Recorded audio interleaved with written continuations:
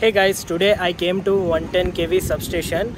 Here you can see this is the substation and in this video I will share you everything like what are the components used in this substation and what is the input and uh, where is the transformer and what will be the output. Each and everything I will share with you in this video. Let's explore. So let's move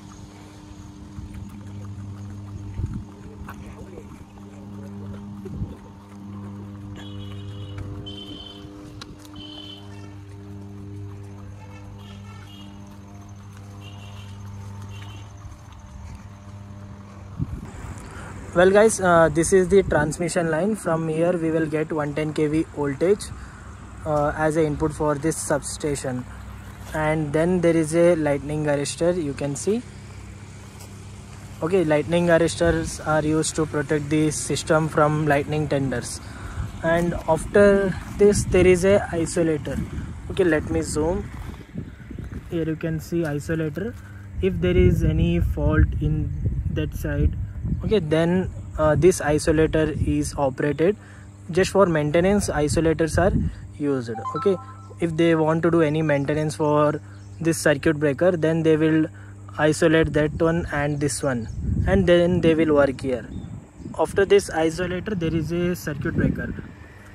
Here you can see this is the circuit breaker. This circuit breaker is used to protect the okay overall substation from overcurrent or any other faults you can see.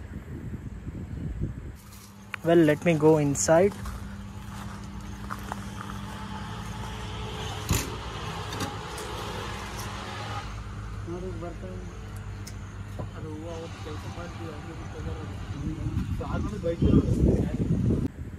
And then there is a current transformer CT to measure the incoming side current here you can see this is the CT current transformer. And again then there is a isolator. Again there is isolator. If they want to do any maintenance in between then they will isolate this system and then they will work on that side. And here again you can see there is a isolator and then comes potential transformer PT well to measure the voltage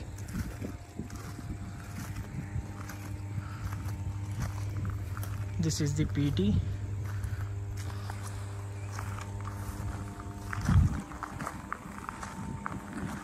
here you can see 110 kV PT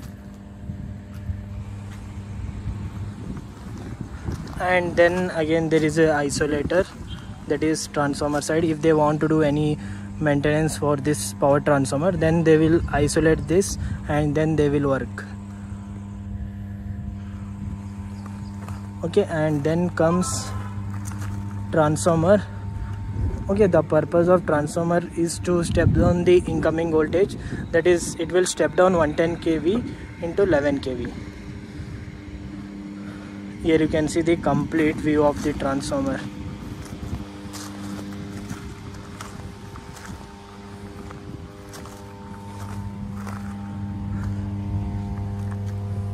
Okay let me zoom this you can see tank bushings.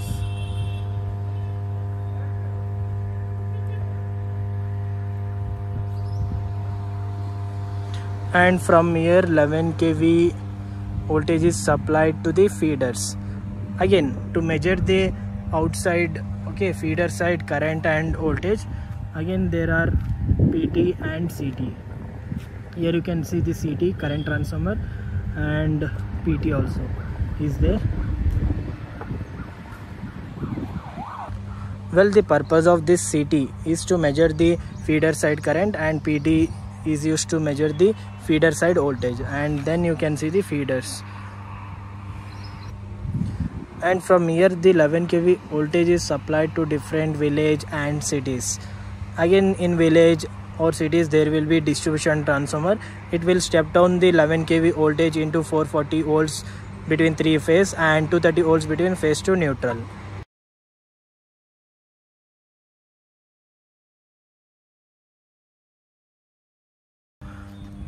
Okay this is uh, 11 kV outdoor control and relay feeder panel.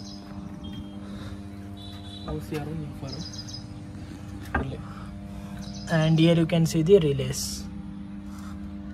Overcurrent relay earth fault relay and again overcurrent relay. Neutral. and this is the meter.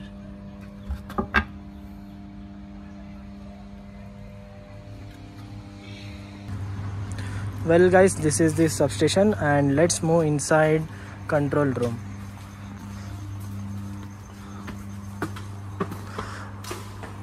This is the control room and from this room they can remotely control the overall system like if there is any fault in line okay it will indicate here. And they can also see the measurements that how much energy is consumed in different lines. Everything they can see in this control room. And here they can turn off the lines. If there is any trip circuit then it will indicate here. You can see here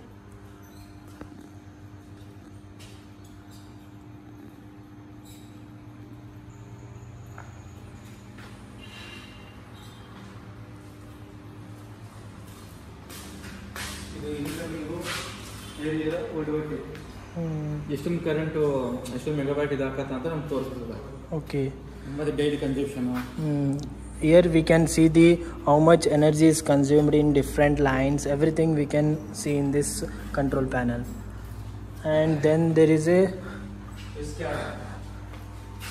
okay and wait one more thing is there this is a scada here you can see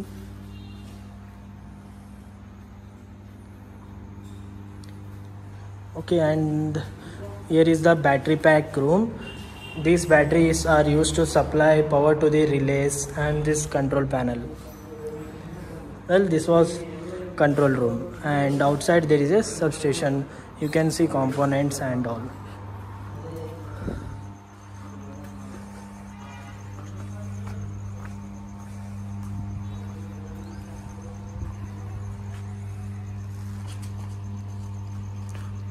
well guys share this video with your friends and if you have any questions you can comment below. Thank you for watching this video